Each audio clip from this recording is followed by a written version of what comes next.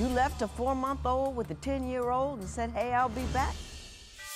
When Molly met Brandon two years ago, she believed she'd met her forever mate. The two shared a love for music, movies, and romantic midnight strolls.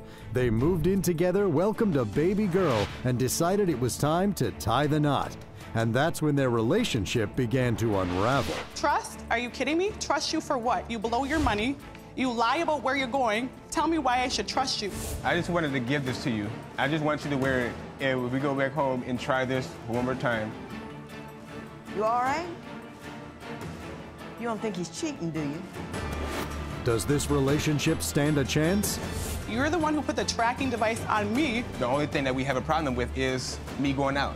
Today on Divorce Court Before Your Vows.